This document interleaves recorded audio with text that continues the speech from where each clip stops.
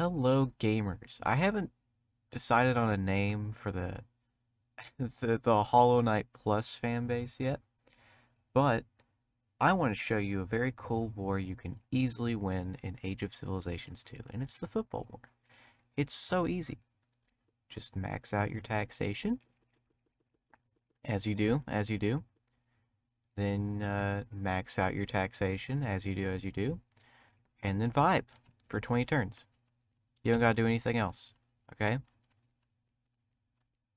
And then you begin recruiting right here. Yeah. They send him an ultimatum. Demand vassalization or 7,000 units invade. It's just that easy. It's just that easy.